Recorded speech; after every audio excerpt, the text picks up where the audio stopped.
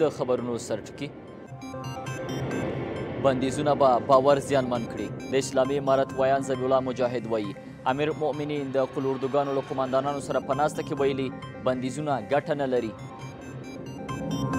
د اسلامي امارت مشر امیرالمؤمنین حفظه الله د خپلو اردوګانو له مسؤلینو سره په کتنه کې ویلي چې پر اسلامي امارت د نړیوالې ټولنې فشارونه به کومه ګټه ونه لري بلکې د بې باورۍ فضا به رامنځته کړي په زړه سوري ماشومانو په شمیر کې ډیروالی لامل یې څه دی ادویجات را که مادر میگیره از بیرون هیچ نوع ادویه سیف نیست میتونه که در ساخت ساختمان جنین مداخله بکنه هالنډ یې غرامت ورکوي د هالنډ حکومت وایي په روزګان کې هغو کورنیو ته غرامت ورکوي چې په 2000 کال کې پوځیانو د کورنۍ غړي وژلي او د پاکستان لومړی وزیر شهباز شریف وایي نړیوال بانک یې پر وړاندې د قرضونو شرایط سخت کړي دي سلامونه وخت مو بخیر د نن شپې پښتو خبري ټولګي ته ښه راغلاست نن شنبه د 1440 هجری قمری کال د رجب المرجب 14 د 1401 هجری شمسی کال د سلواغې 15 او د 2023 میلادي کال د فبرورۍ ل 4 نیټې سره سمون خوري زه عمران هوتک مو دا هم بشپړ خبرونه په پایل کې هم امیر مؤمنین شیخ الحدیث مولوي هبت الله حفظه الله د تیر پنجشنبې په ورځ د قلوردوګانو له مسؤلینو سره په لیدنه کې ویلي د افغانستان پر اسلامي امارت د نړیوالې ټولنې فشارونه ګټور نه دي بلکې د بې باورۍ فضا د رامنځته کېدو سبب ګرځي په ورته وخت کې یو شمېر سیاسي کارپوهان له فشار څخه کار اخیستل دواړو لورو په ګټه نه بولي او وایي چې نړیواله ټولنه باید له اسلامي امارت سره تعامل او خبرو اترو لاره خپله کړي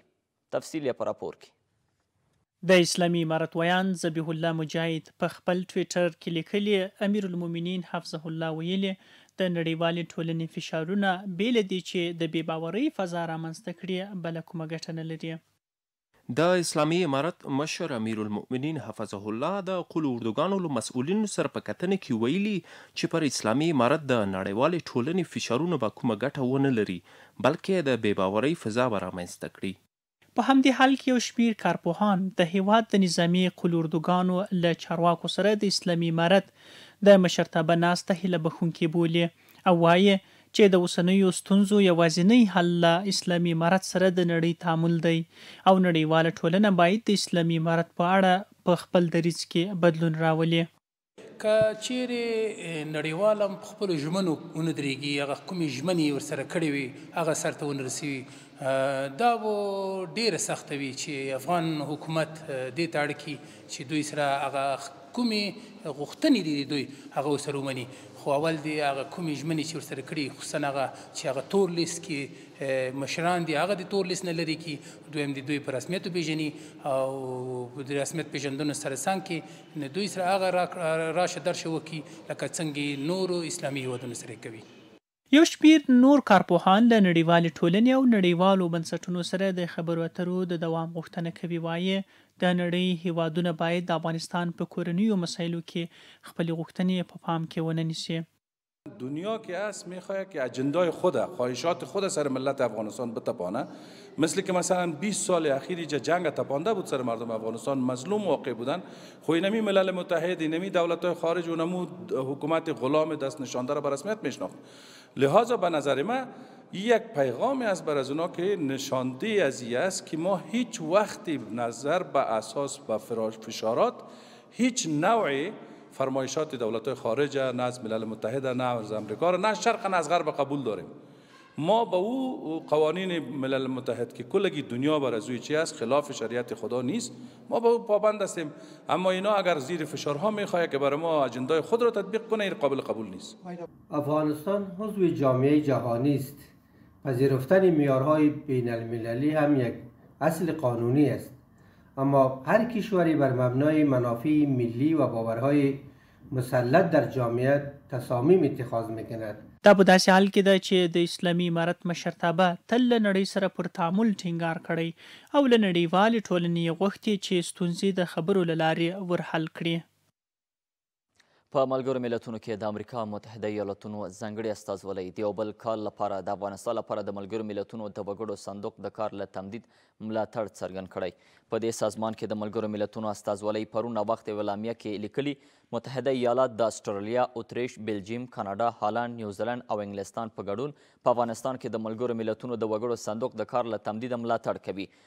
څو دا اداره وکولای شي د افغانانو بشري او اساسي اړتیاوې پوره کولو کې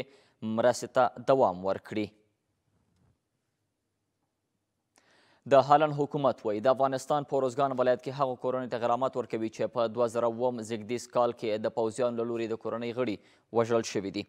د هالنډ حکومت زیاته کړې چې په دې تړاو به استیناف محکمې ته ورنشي او نیغ په نیغه به د وژل شویو کورنۍ ته غرامت ورکړي د هالنډ دفاع وزارت مخکې منلې وه چې ځواکونو د روزګان په چوره ولسوالۍ کې پر یوې کلا بمبار کړی و په هاک کې یوې سیمه ییزې محکمې په نومبر کې د هالنډ له حکومته غوښتي و چې د پیښ قربانیانو کورنیو ته دې تاوان ورکړي د هالنډ دفاع وزیرې کاچسا د جمعې په ورځ په یوه لیک کې چې د پارلمان غړو ته یې استولی څرګند کړی چې پر دې پیښې پنځلس کاله تیر دي نو اوس د وضاحت لپاره ډیر څه په لاس کې نه لري نو استناف ته مراجعه نه کوي او د اوښتي زیان غرامت به ورکړي له دې وړاندې استرالیا هم په افغانستان کې د خپلو سرتیرو له جنایتونو پرده پورته کړې وه او د خپلو پوځیانو له لوري شوې کړنې جرم بللې وې د سرپل اوسیدونکي په دغه ولایت کې له تیرو شلو کلونو د بنیادي پروژو د نه پلي کېدو څخه ناخوښ دي. دوی له اسلامي امارت له مشرتابه څخه غواړي چې دوی ته کاري بوختیاوې برابرې کړي. په همدې حال کې د سرپل والي وایي د دغه ولایت عمده ستونزې د اسلامي امارت له مشرتابه سره شریکې کړي او د رسېدنې ډاډ یې ترلاسه کړی دی. تفصیل یې په راپور کې. سره پل د هېواد په شمال کې یو له لرې پرتو ولایتو څخه دی. د دغه ولایت د اوسېدونکو په وینا، په تېرو شلو کلونو کې د حکومتي چارواکو د نه پاملرنې له امله د دغه ولایت د مرکز څېره لا هم د ښار په څېر نه پاتې کېږي. سره پل ولایت کې نه چا داسې فابریکه جوړه کړې ده چې په هغې کې زموږ ځوانان په کار باندې شي، نه چا بل داسې خدمات کړی او خپله تېل لرو، ماشاءالله د ګاز لرو. دوی وايي، ګاونډیو ولایتونو ته د مواصلاتي لارو، د ښار دننه حلقوي سړکونو او د بشپړو روغتیايي اسانتیاو نشتوالي ترڅنګ وچکالۍ د دغه ولایت له عمده ستونزو څخه دي چې حکومت ورته باید رسېدنه وکړي. مریضها تلف شدند بخاطر عدم موجودیت راههای مواصلاتی وصل شدن راهها. مردم به سرک عمومی دسترسی کم دارند ولایت ما یک سرک ارتباطی دارد فقط همون سرک سرپل شبرغان است. په همدې حال کې د سرپل والي وايي، د دغه ولایت مهمې ستونزې یې د اسلامي امارت له مشرتابه سره شریکې کړي او په راتلونکي کې به یې ځینې اړتیاوې ور پوره شي. میرا با شیخ صاحب هیبت الله هم یک بار رفتم آخوندزاده و د وزارت هم رفتم پیش رئیس وزرا هم رفتیم مشکلات های مردم شریک کردیم تا جای را البته گفتن که مشکلات های ما ولی سال آمدنی چیزی نیست از سال نو بخیر مشکلات های مردم رسیدگی میده دا په داسې حال کې ده چې سرپل ولایت د طبیعي زیرمو لکه د ډبرو سکرو او تیلو له امله بډایه ولایت دی او اوسیدونکي یې له حکومته غواړي چې د سرپل د کانونو د عوایدو یوه سلنه برخه د سرپل د اوسیدونکو د ستونزو د هواري لپاره ولګوي.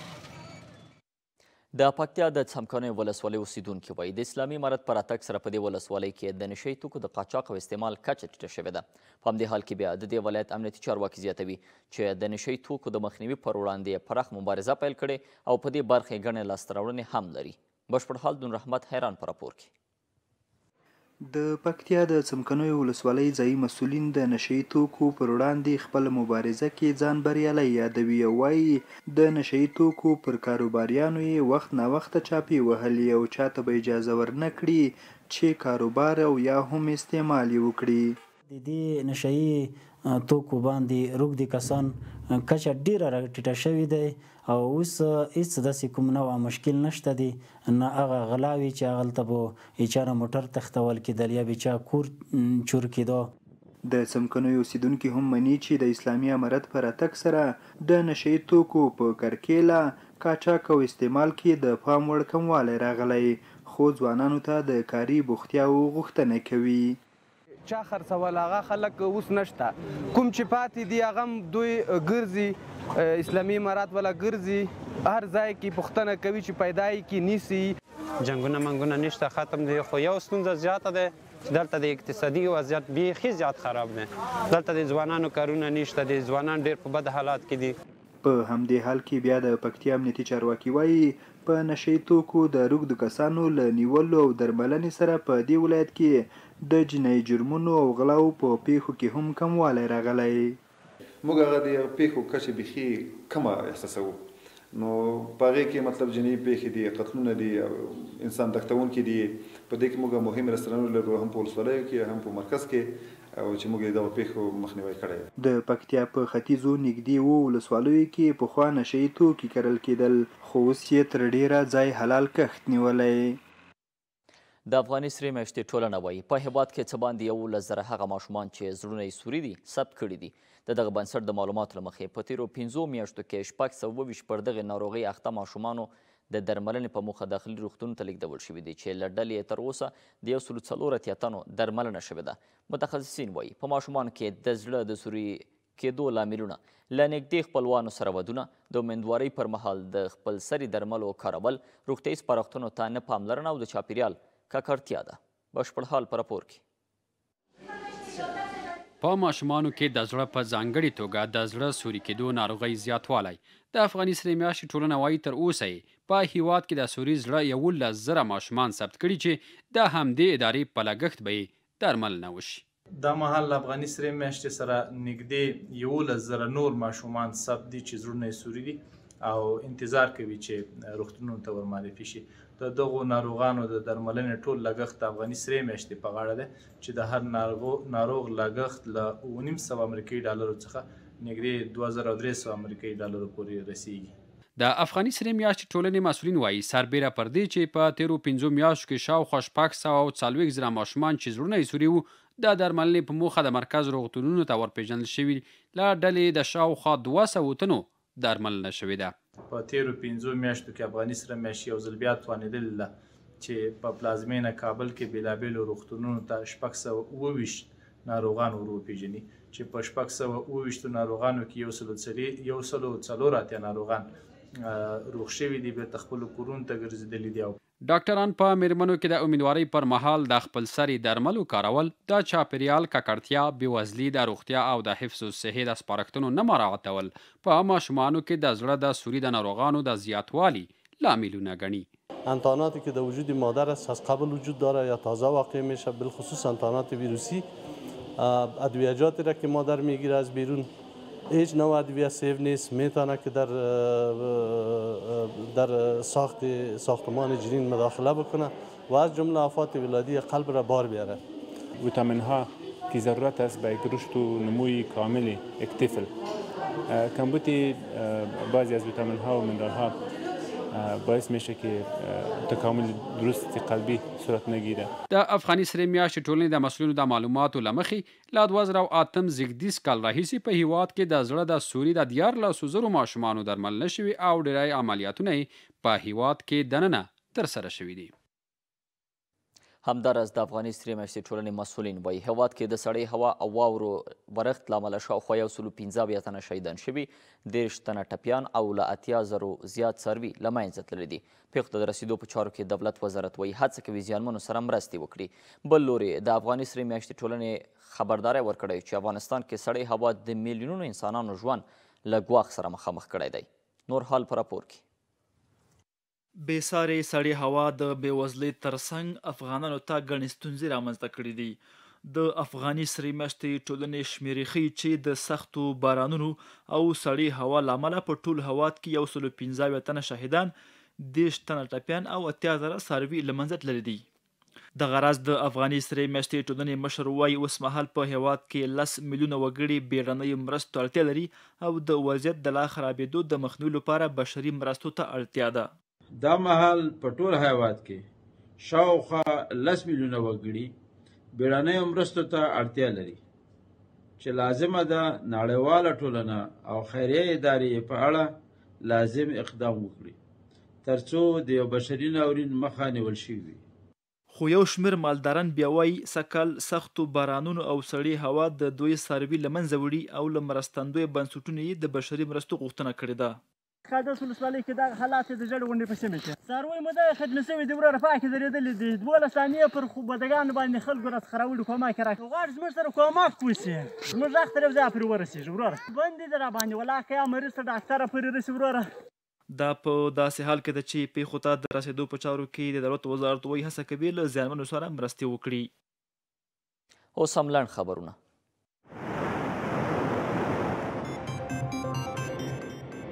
د استخباراتو د ریاست مسولین وایي د سمنګان د استخباراتي ځواکونو د یو لړ کشفي راپورونو پر بنسټ د یاد ولایت په دره یوسف بالا او پاین ولسوالیو کې څلور تنه وسلوال غلا او انسان تښتوونکي د ګڼ شمېر وسلو مهماتو سره یو ځای نیول شوي دي د کابل امنیه قوماندانۍ د بلسمې حوزې پولیسو درې تنه د بېلابېلو جرمونو په تور نیولي د نیول شوو کسانو له ډلې یو تن یې د قتل او دوه نور یې د غلا په تور نیول شوي دي له غلو سره یو تښتول شوی زرنج هم نیول شوی دی یو خیریه بنسټ په بادغیس کې د اتیا هغو کورنیو سره مرسته وکړه چې د کورنۍ سرپرستانې مېرمنې او یا معلول کسان وو. د دغه دفتر مسؤلین وایي چې په دې مرسته کې د نهه زره افغانیو پر ارزښت غوړي، وریجې او نور غذایي توکي شامل وو. د روغتیايي خدمتونو د ملاتړ او پیاوړتیا په موخه بیړنیو روغتیايي پیښو ته د ځواب ویلو پروژه د غور ولایت په مرکز فیروزکوه ښار کې پرانیستل شوه. د روغتیا مسؤلینو د دغې پروژې پرانیستل د روغتیايي خدمتونو د وړاندې کولو په برخه کې یو مثبت ګام وباله او له مسؤلینو وغوښتل چې خپلې دندې په ښه توګه ترسره کړي بیا هم ښه راغلاست ننګرهار کې د ټولو خصوصي مدرسو د لوی او وړې دورې زده کوونکو سبیا ازموینه پیل شوه د دغه ولایت پوهنې ریاست مسؤلین وایي په یاد ازموینه کې دوه زره یو سلو اوولس کسانو نوملیکنه کړې چې یو زرو څلور سوه نهه شپېته یې نارینه زده کوونکي او شپږ سوه اته څلوېښت پکې ښځینه زده کوونکې هم شاملې دي. نور حال په راپور کې. د ننګرهار پوهنې ریاست مسؤلینو د دغه ولایت په ټولو ولسوالیو کې د لوی او وړې دورې د خصوصي مدرسو له دوه زره یو سل اوولس زده کوونکو د سویې ازموینه اخیستل کېږي چې یو زرو څلور سوه نهه شپېته یې نارینه او شپږ سوه اته څلوېښت یې ښځینه زده کوونکي دي. د ننګرهار پوهنې رئیس مفتي حبیب حضرت حقاني وايي، هغه زده کوونکي چې له لويې او وړې دورې فارغ شوي، د سویې ازموینه ترې اخیستل کېږي چې د ازموینې بریالیو زده کوونکو ته به سندونه هم ورکول کېږي. دا په ننګرهار ولایت کې د خصوصي مدارسو د هغو طالبانو چې هغه د عالمې درجې یعنې د لویې دورې نه فارغ دي یا د وړې دورې نه فارغ دي چې عالیه ورته ویل شي پنځمې درجې نه فارغ دي، د دوی نه اسلامي امارت او معارف وزارت د سویې امتحان اخلي دا امتحان تقریبا د سویې امتحان په سطح باندې دی او دوی ته به ان شاء الله شرطنامې ورکړي چې د امتحان کامیاب شي پنځمې درجې والا ته به دولسم سند ورکول کیږي دولسم به معادل کیږي سوی او دغه چې د وړې دورې په څوارلسم او د لوی دورې چې کومه عالمې ورته ویلی شي د دې به په شپاړسم باندې معادل کیږي. د حقاني په خبره د ښځینه وو ازموینه به د هوا د ښه کیدو په صورت کې اخلي. او د ناسو امتحان چونکی شرایط په الحال یخنی موسم هم دی هغه امتحان به ان شاء الله وزارت معارف د وخت اعلان کوي چې حوال معتدل شي او حالت برابر شي موسم د ګرمۍ او د یخنۍ او د واورو نه ان شاء الله کېدای شي په سرلي ټیم کې هغه اعلان اعلان مو کې هغه امتحان هغه وخت کې واخیستل شي مسؤلین وایي دغه ازموینه په ټول هېواد کې د پوهنې وزارت له خوا پیل شوې چې شپږ دېرش زره زده کوونکي په کې ګډون کوي او په ننګرهار کې به شپږ ورځې دوام وکړي. په بلخ ولایت کې څه باندې سل تنه ځوانان په نړۍ کې آزاد کار یا فریلانس په تړاو له یوې ښوونیزې دورې زده کړو وروسته فارغ شول یاد پروګرام د اطلاعاتو فرهنګ ریاست لخوا د اکتد دفتر په مالی لګښت جوړ شوی د اطلاعاتو فرهنګ وزارت د ځوانانو چارو معین ورته برنامې د ځوانانو ظرفیت لوړونې او د هیواد اقتصاد پرمختګ کې مهمه بولي او ډاډ ورکوي چې په هیواد کې به ځوانانو ته کاري فرصتونه برابر کړي بشپړ جزئیات د سید عمر احمدي په راپور کې دغه پروګرام چې د اطلاعات او فرهنګ ریاست لخوا د اکتد دفتر په مالي لګښت جوړ شوی وو، د اطلاعات او فرهنګ وزارت د ځوانانو چارو معین دارنګه برنامي د ځوانانو په ظرفیت لوړونه کې او د هیواد په اقتصادي پرمختګ کې مهمې وښودې. هغه زیاته کړه، هڅه کوي چې په هیواد کې ځوانانو ته کاري فرصتونه برابر کړي. د افغانستان ځوانان د دغه پروګرام په برکت باندې لومړی پر خپل ځان باور پیدا کوي، دوهم پر خپل نظام باور پیدا کوي، دریم پر خپل وطن، پر خپل ولس اعتماد او باور پیدا کوي. د دې پروګرام اصل مفهوم دا دی چې باید ځوانان پر خپل ځان اعتماد وکړي، ناامیدي ونه کړي. په همدې حال کې په شمازون کې د اکتید دفتر مسولان وايي په پام کې لري چې د ځوانانو ظرفیت لوړونې په برخه کې دا رنګه نورې بېلابېلې برنامې ترسره کړي. ما در هر ولسوالی مرکز به نام مرکز یوت یا مرکز جوانا داشته باشیم و این مرکز باید به سد اساسی جور شود که تعمیر داشته باشد ساختمان داشته باشد و بنیادی باشد به می اساس تقریبا بیست و دو مراکز جور شد. له بلې خوا د دې برنامې څخه یو شمېر فارغ کسان وايي چې داسې برنامې په ظرفیت لوړونې کې مهم رول لري. دوی د مسؤلانو څخه غواړي چې دا رنګه نوري برنامي هم تر سره کړي. خواست ما از دولت ای است که همچو برنامه را طویل مدت بسازد چون ای یک ماه بود میخواهیم که ای برنامه طویل مدت شود و حمایت مالی بیشتر شود. د یادونې وړ ده چې د مراسمو په پای کې فارغو ځوانانو ته د مسؤلانو له خوا ستاینلیکونه او سندونه هم ورکړل شول. د بلخ ولایت امنیه قوماندانۍ مسؤلینو د امنیت د ټینګښت په برخه کې د خلکو مرستو راجلبولو په موخه د بیړنۍ شمېرې سربېره د امنیه قوماندانۍ د رهبرۍ نوکریوالۍ شمېرې هم په خلکو ووېشلې. یو سلو نولس له پولیسو سره د اړیکې شمېره ده چې خلک کولی شي د امنیت د ټینګښت په برخه کې له پولیسو سره د همدې شمېرې له لارې اړیکه ونیسي. بشپړ حال د عجب ګل عاطف په راپور کې. یو سلو نولس له پولیسو سره د اړیکې شمیره ده. خلک کولای شي د امنیت د ټینګښت په برخه کې له پولیسو سره د همدې شمیرې له لارې اړیکه ونیسي او خپل معلومات له پولیسو سره شریک کړي. د بغلان د امنیه قوماندانۍ مسؤلین وايي چې یاده شمیره د خلکو او پولیسو ترمنځ د پل حیثیت لري. او د دې ولایت له اوسېدونکو غواړي چې د امنیت د ښه ټینګښت لپاره له دوی سره د یادې شمېرې له لارې اړیکه ونیسي. نظر به هدایتی قوماندان صاحب امنیه ولایت بغلان امروز شماره نوکری والی رهبری قوماندانی که بیست و چهار ساعت باز است و شماره عمومی پلیس که یکصد و نوزده است در مرکز ای در سر تا سر شهر پلخمری توزیع گردید. تا باشد که هموطنان ما و همشهریان ما حین یک مشکل یا یک ضرورت با پلیس و نوکریوالی رهبری قوماندان امنیت در تماس شوند تا مشکلشان از این طریق رفع گردد. په ورته وخت کې د دې ولایت خلک هم د حکومت له دغه اقدام څخه خوښ دي. از دولت به این خاطر خوش هستیم که امن است، آرامی است، دزد نیست، رازن نیست در را، بس خلاص. ما مردم هم کار هستم که دولت، دولت خوش هستم، امنیت آورده است، ما مردم بسیار خوش هستم. دا په داسې حال کې ده چې د اسلامي امارت په راتګ سره په ټول هېواد کې امنیت ټینګ شوی او خلک د امن په فضا کې ژوند کوي. د کندهار ګمرک ریاست مسؤلین وایي چې په روان لمریز کال کې یوولس میلیارد او درې سوه اته ویشت میلیونه افغانۍ عواید راټول کړي چې یاد ارقام د تېر کال پرتله شپږ میلیارد افغانۍ زیاتوالی ښيي. نوموړي زیاتوي، په ټولو اولیه خوراکي توکو یې اویا سلنه مالیه معاف کړې ده. نور حال د نعمت الله زیارمل په راپور کې. د کندهار ګمرک ریاست په تیرو لس میاشتو کې د زیات عوایدو د راټولیدو خبر ورکړی. د کندهار د ګمرک ریاست رئیس په خبره د اسلامي امارت په راتګ سره اوس په ټولو ګمرکاتو او عایداتي ځایونو کې شفافیت رامنځته شوی او یاد عواید په شفاف ډول راټول شوي. د نوموړي په خبره د کندهار او سپین بولک په دواړو ګمرکاتو کې اداري کارونه منظم شوي او د مراجعینو ستونزې تر ډېره پورې حل شوې. د فساد کچه موږ صفر ته راټیټه کړې ده. په عموم کې چې مخکې ډېر مشکلات وو، خو زموږ الحمدالله د فساد په برابر باندې ټول ولس ته نو سل فیصده اطمینان ورکوو چې فساد کچه موږ دلته صفر ته راټیټه کړې ده. ښاغلی احمد زیاتوي، په تېرو لس میاشتو کې د کندهار او سپین بولدک له ګمرکاتو څخه یوولس میلیارد افغانۍ عواید راټول شوي چې تېر کال ته اویا سلنه زیاتوالی ښيي. نوموړی وايي، په ټولو اولیه خوراکي توکو مو اویا سلنه مالیه معاف کړې. او په بعضو اجناسو باندې د روپۍ د ټیټوالي سره سره موږ